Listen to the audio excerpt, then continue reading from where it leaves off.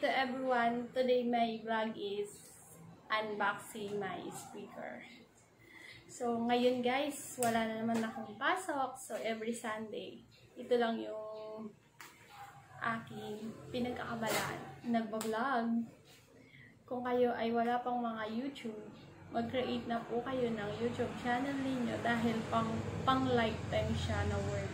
So, kahit na may pasok ka, pag may nanood ng channel mo, ay pwede ka na kumita pag monetize ka na. Tsaga-tsaga lang guys. Lahat yan ay matutupad. Kung may tsaga, may nilaga mo. So, kung bago ka pa lang sa aking channel, bago tayo mag-start, eh aking pasasalamatan lahat ng aking nanonood ng aking YouTube channel. At kung bago ka lang, paki-subscribe, hit mo na rin ang notification bell para lagi kang updated sa aking mga video. Like mo at i-share mo, i-comment mo na rin ang gusto mong sabihin. So, ngayon guys, mag start tayo na mag-unbox ng speaker. Ito ay hindi sponsor, ay binili ko lang ay para sa personal ko po. Ito na guys ang aking i-unbox na speaker. So, mag-i-start na po tayo mag-unbox. Ang kailangan natin ay gulpi.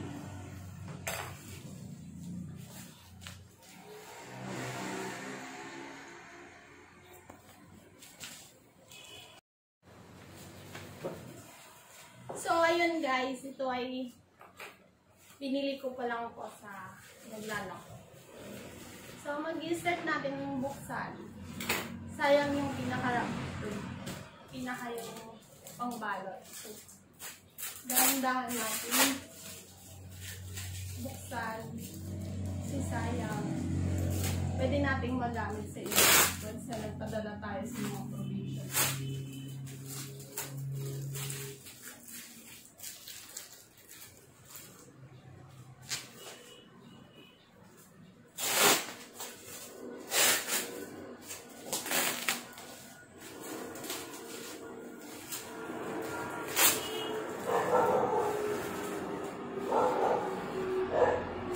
Ay,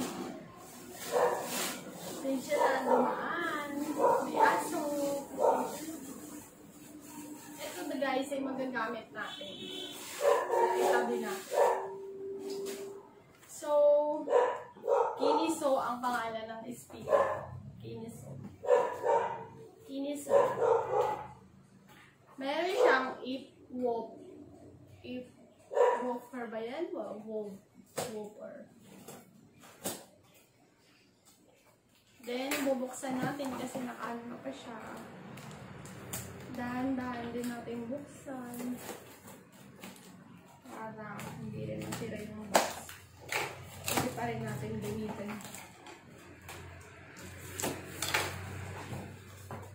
Ayan guys. So, bubuksan natin.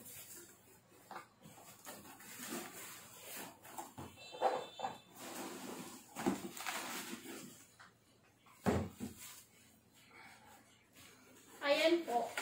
Ganyan kalaki yung speaker. So, meron siyang ang description niya po ay ano, BT version 5.0. Speaker unit niya is 8 times 1 8, 8 times 1 by 80 magnet. So power niya is 12 watts. Digital display built-in US MP3 and clear micro SD. FN radio siya. May FM radio siya guys. Then meron siyang mic input with karaoke function. Meron siyang wired, wireless mic. And yung wireless mic niya meron din po.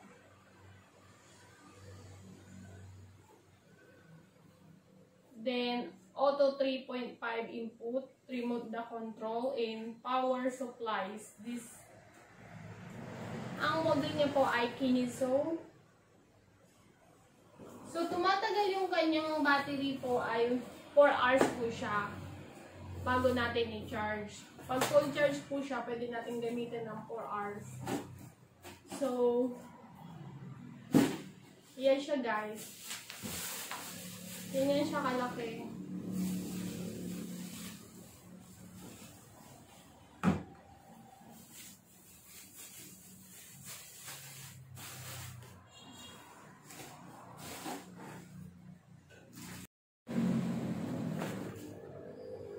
So, ganito siya kalaki guys. Ayan siya.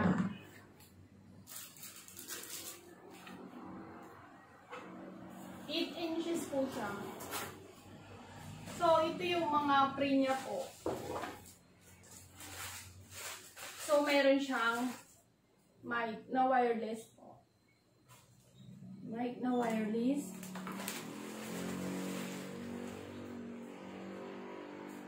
At saka, may USB siya. Free na rin siya po. May USB.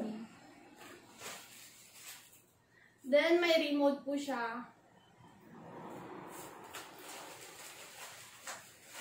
At meron siyang instruction manual. Instruction manual. Then, meron siyang sabitan na pwede nating dalhin gawing bag. Sasabit natin.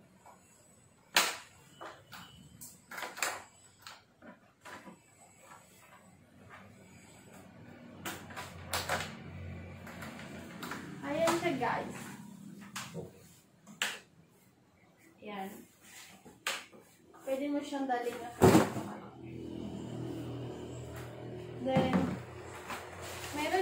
charger. Charger po, meron siyang free na charger. So, meron siyang mic. I-testing natin.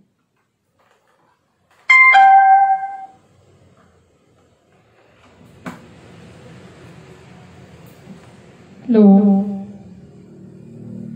Yan siya guma guys. Gumagana naman siya. Then, testing natin yung USB.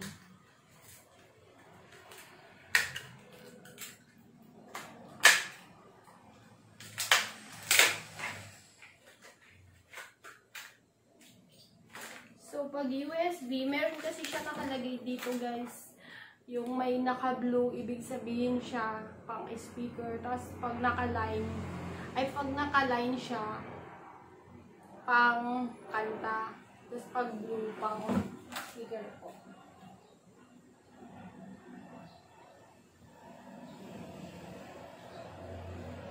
So, ilagay natin yung USB.